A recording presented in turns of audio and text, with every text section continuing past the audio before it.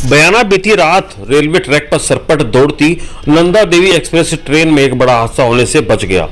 कोटा की ओर से दिल्ली की तरफ़ जाने वाली नंदा देवी एक्सप्रेस ट्रेन रात्रि को शॉर्ट सर्किट की चपेट में आ गई, तभी ट्रेन के कोच से धुआँ उठने लगा। ए टू स्लीपर कोच में आग लगने के कारण हुए धुएँ से ट्रेन का अलार्म बजा और ट्रेन रुक गई।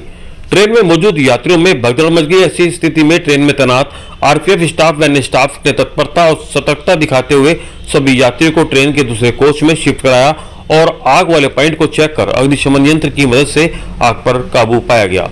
बताया जा रहा है कि शॉर्ट सर्किट की वजह से यह घटना घटित हुई थी, करीब 12 बजे ट्रेन प्रभावित रही।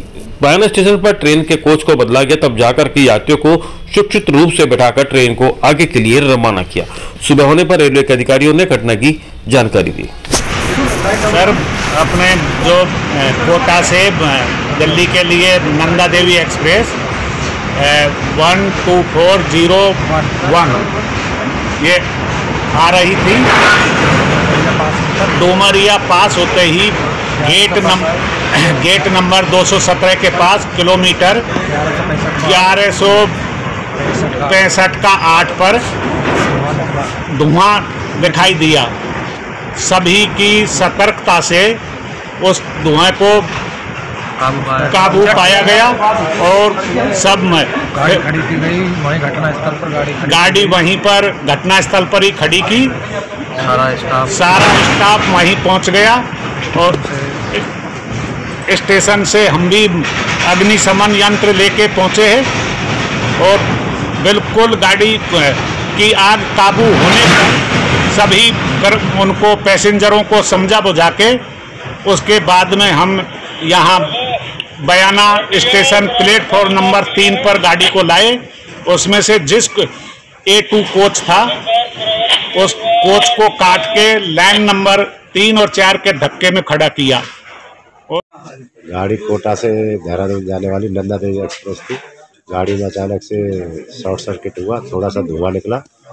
गाड़ी अलार्म बज के खड़ी हो गई और जो कोच में यात्री थे, उनको शिफ्ट कर दिया दूसरे कोचों में और गाड़ी का जो मटेरियल था उससे विभाग संबंधित विभाग ने सही कर दिया और गाड़ी बयाना में लाके खड़ी कर दी। नहीं नहीं, आग नहीं लगी थी, केवल धुआँ निकल रहा था ऊपर से। ऊपर से जो है धुआँ निकल रहा था तो जो है सबसे पहले जो है, मैंने जो है, जब कोच में हल्का सा धुआँ आया ना तो फिर मैंने पैसेंजर को सबसे पहले बाहर निकाला। मैंने कहा, आप लोग जो है ए वन कोच में चले जाओ।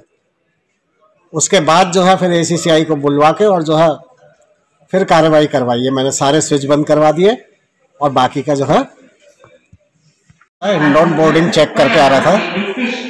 तो अचानक जो है, मैंने देखा जो है सो लोग पैसेंजर बोल रहे थे, साहब, ये धुआँ कहाँ से आ रहा है?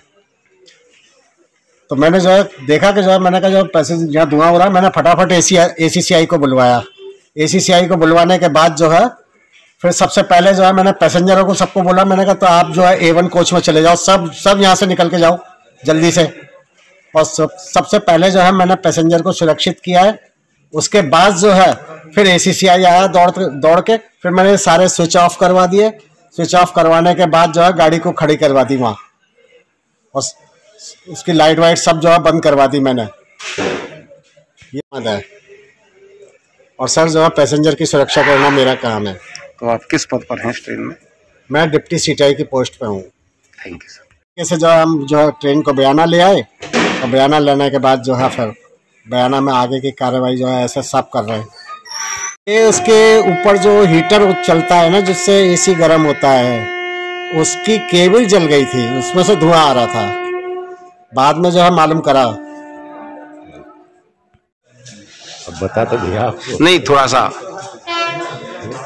बस ये को ट्रेन में इस तरह से ये घटना घटी और हमने उसको रास्ते में रोक के और सभी यात्रियों को सकुशल दूसरे कोचों में शिफ्ट किया शिफ्ट किया है और कोई जनानी नहीं हुई कोई बस।